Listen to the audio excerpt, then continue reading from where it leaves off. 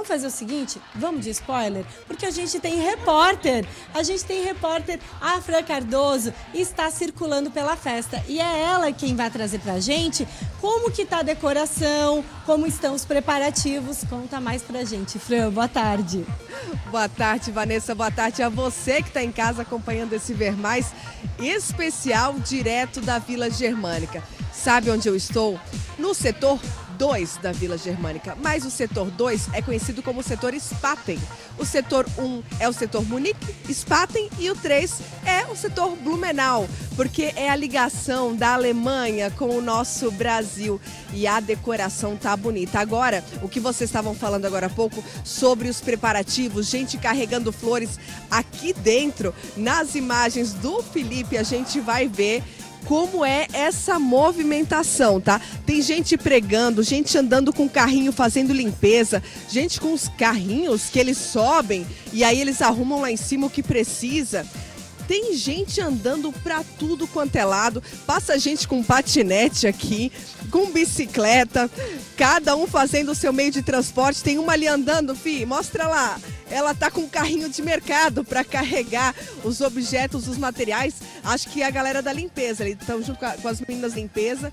E é, é isso que a gente vê. Mas promete estar tudo pronto logo mais às 6 horas da tarde, quando abrem então, abrem os setores do Parque Vila Germânica para todo mundo. E aqui a decoração, ela é em dourado, verde e branco uma decoração realmente pensada nessa nesse contato também com a Alemanha, trazendo o contraste do dourado com o verde e também lembrando inclusive um pouco da nossa indústria têxtil, né, com essas texturas. E a gente lembra, olha só, não sei se você sabe, somos a capital da cerveja. Temos a segunda maior festa alemã das Américas e o Brasil é o terceiro maior produtor de cerveja do planeta. Mas aqui, no, dentro da Oktoberfest, na casa da Oktoberfest, no Parque Vila Germânica, vão ter cerca de 130 tipos diferentes de cerveja. Então, se você quer provar variedade, aqui tem. Inclusive cerveja sem glúten, inclusive cerveja sem álcool. E é isso, gente. Um pouquinho do que está rolando por aqui tem uma movimentação realmente muito intensa e a gente cria uma expectativa, né?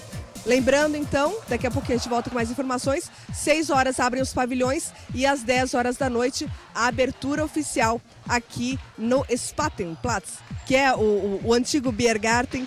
E a gente vai ver os monges chegando com o caneco às 10 horas da noite para essa abertura oficial. É com você no estúdio, Vanessa.